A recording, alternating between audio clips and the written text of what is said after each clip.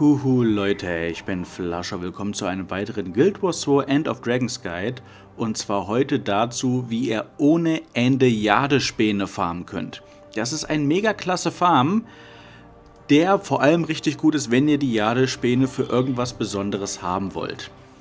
Allerdings schon mal eine Warnung, dieser Farm ähnelt oder grenzt so ein bisschen an diesen Forschungsseitenfarmen mit den Brotleiben, wo ich schon ein Video zu gemacht habe, was dann genervt worden ist. Und dieser Farm ist ähnlich.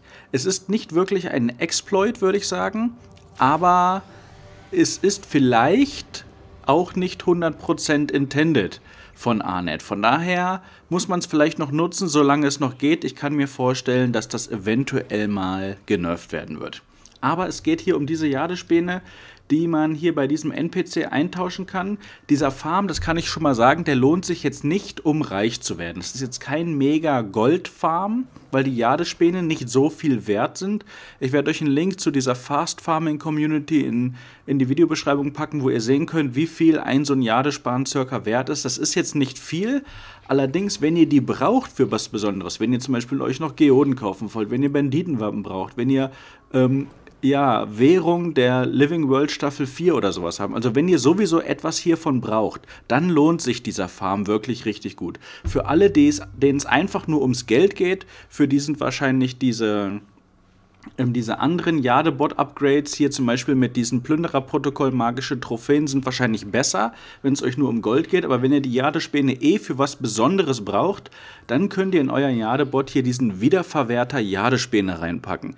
Der verwertet nämlich alle Schrottgegenstände, die ihr ins Inventar bekommt, automatisch in diese Jadespäne. Und jetzt natürlich die Frage, wo kriegt man diese Jadespäne ultimativ viel her mit einer, ja, eigentlich hundertprozentigen Chance, richtig, richtig viele davon zu bekommen. Und dafür werde ich mal kurz an einen anderen Ort gehen und euch dann zeigen, wie es geht. Wie gesagt, ihr braucht den Wiederverwerter Jadespäne dafür in eurem Jadebot. So, ich bin einfach mal in Malchors Sprung gegangen. Ich denke, diese Stelle hier kommt viele von euch bekannt vor. Das ist eine typische Holzfarmstelle. Aber das, ich bin jetzt nur hier, ähm, um ja, es beispielhaft zu zeigen. Es funktioniert überall, wo kein Level 1 Gebiet ist, sozusagen. Und zwar geht es darum, dass ihr jetzt einfach Zeug abbaut.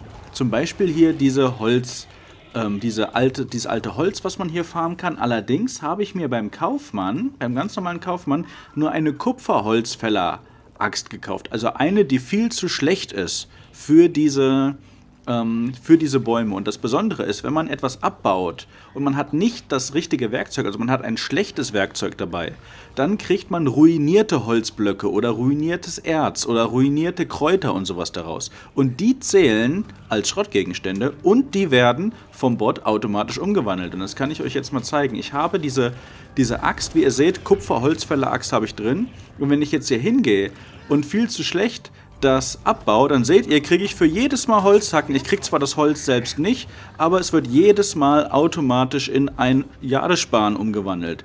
Und das funktioniert bei Holz, das funktioniert bei Erz, das funktioniert bei Kräutern.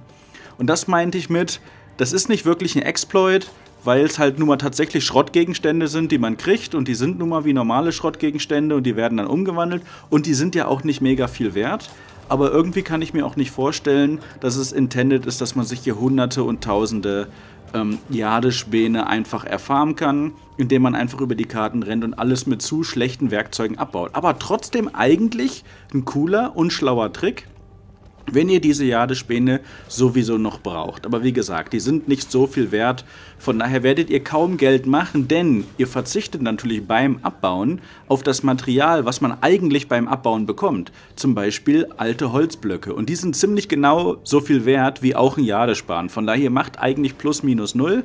Das meinte ich auch mit, das lohnt sich jetzt nicht, um mega Geld zu machen. Aber wenn ihr eh diese Items von den Jadespänen braucht, ist das hier ein super Farm. Also einfach schlechte, schlechte Abbauwerkzeuge einpacken und noch so lange alles abfarmen, bis Arnet sich denkt, oh, das haben wir uns so aber nicht vorgestellt. Und das nervt so ähnlich wie die Brotleibe. Ich hoffe, es hat euch gefallen. Danke an die Community, danke an äh, Shiroi Karasu fürs äh, Zeigen äh, dieses Tricks. Ich gucke mir sowas immer gerne an und teste es dann natürlich auch immer gerne. Ich wünsche euch noch viel Spaß und wir sehen uns die Tage wieder. Ciao, Leute.